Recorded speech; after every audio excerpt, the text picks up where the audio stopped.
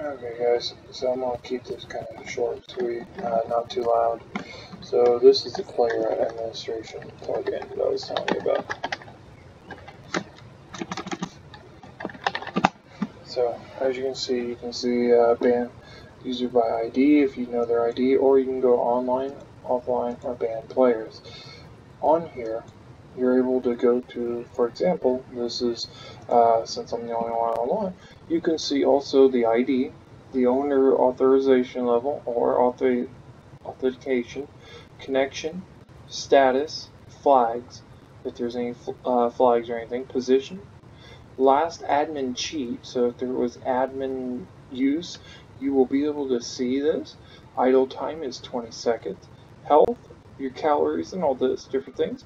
And also over here you can also um, choose from a different uh, variety of things. So you can either heal someone, hurt someone, you can reset their metabolism, reset all their blueprints, clear their inventory, unfreeze or freeze, depends on if you have the freeze plugin, mute voice or unmute, mute chat or unmute, kill permissions. So this is one of the easiest ways to access permissions tab, allows you to go and access that.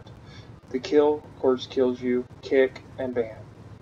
So that is pretty much all, and thank you for watching.